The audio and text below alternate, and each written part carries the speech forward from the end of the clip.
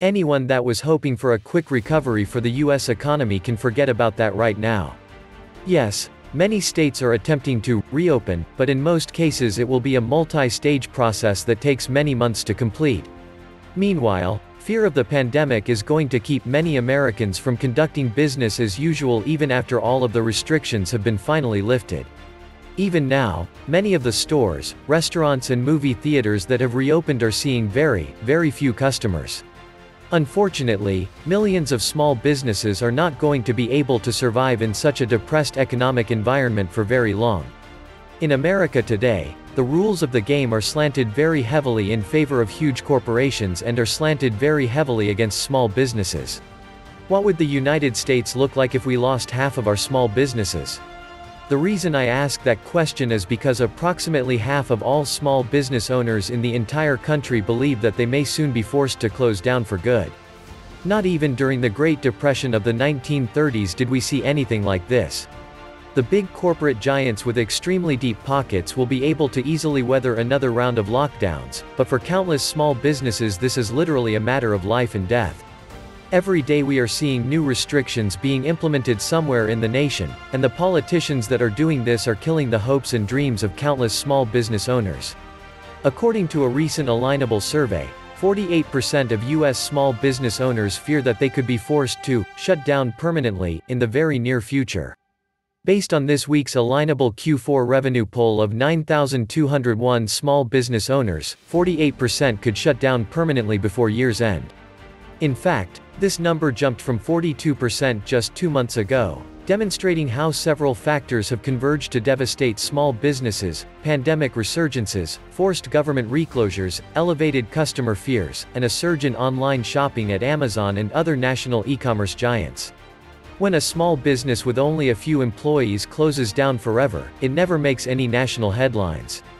The last thing any small business needs right now is help from the government. What they all need is the government to leave us alone. The last thing I need is the help of fat lazy government bureaucrats sticking their nose in my business. But the truth is that small businesses are the heart and soul of our economy, and we are losing more of them with each passing day. Here are some quotes from actual small business owners that took part in the Alignable survey. The pandemic has raised its ugly head again. I'm a caterer and I've had no work in November and my clients are canceling for deck. This is so sad. I have worked so hard to build my business the last 14 years. My business has gone from half a million to not even 200,000. This is devastating for any business. Pandemic closings are killing this country. My business is on hold, no art walks or gallery openings, and I can't even open my studio. Everything's online. Because therapeutic massage is so up close and personal, I have only come back to about 40% of my previous clientele. I am afraid that the governor will shut us down again, which will be the end of my business. I also believe the ruling elite does not care about small businesses. How would you feel if you spent years putting everything you had into a small business in order to make it successful, only to have the politicians come along and completely destroy it? And every time a small business has to let workers go, it just makes the unemployment crisis in this country even worse. On Thursday, we learned that another 853,000 Americans filed new claims for unemployment benefits last week. First-time claims for unemployment insurance totaled 853,000, an increase from the upwardly revised 716,000 total a week before, the Labor Department reported Thursday. Economists surveyed by Dow Jones had been expecting 730,000. I have been warning that the new lockdowns would make the numbers worse, and that is precisely what is happening. And one expert that was interviewed by CNBC says that this is just the beginning. It looks like the unemployment losses are starting to stack up for the economy.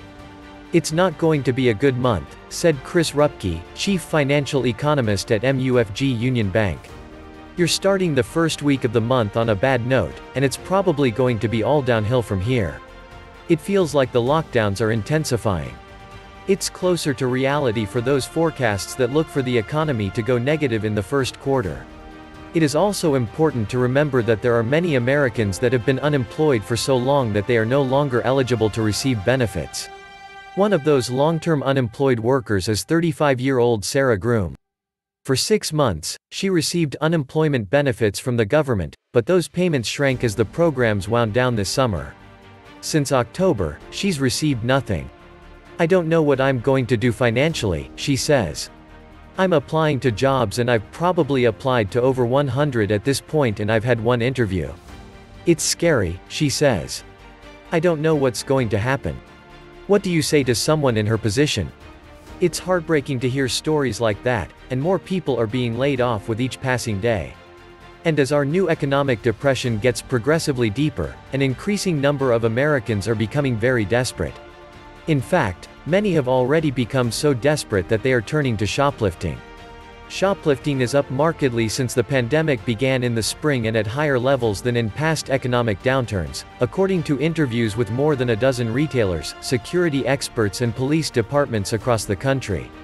But what's distinctive about this trend, experts say, is what's being taken, more staples like bread, pasta and baby formula. We're seeing an increase in low-impact crimes, said Jeff Zissner, chief executive of workplace security firm Aegis. It's not a whole lot of people going in, grabbing TVs and running out the front door.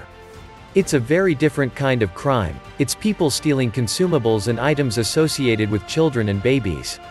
Everywhere we look, our society is starting to break down all around us. Americans have filed new claims for unemployment benefits more than 70 million times this year. The number of homeless in New York City has reached an all-time record high, and civil unrest continues to erupt all over America.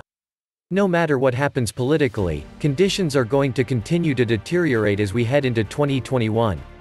Of course the mainstream media is boldly proclaiming that the new vaccines will pull us out of this tailspin and that life in America will soon return to normal. You can believe the mainstream media if you want, but in the end the hope that they are promising will turn out to be a complete mirage.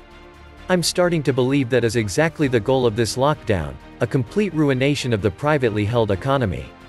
Basically like someone swiping all the pieces off the chessboard mid-game. No more game. For any players. Total control. The world and the future is beginning to look like a cross between the novel 1984 and the movie V for Vendetta. The news reminds me of that movie a lot lately. This is the big reset. The giant culling of the sheep. This is just phase 1. We have gone from the propaganda being, flatten the curve to, lock down until the vaccine is ready.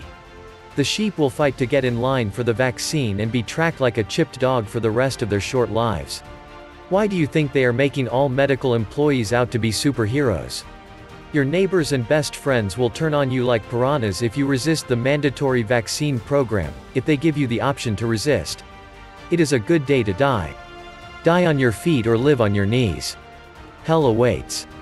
This was the Nomad Economist. Please like, share, leave me a comment, subscribe. And please take some time to subscribe to my backup channels, I do upload videos there too. You'll find the links in the description box.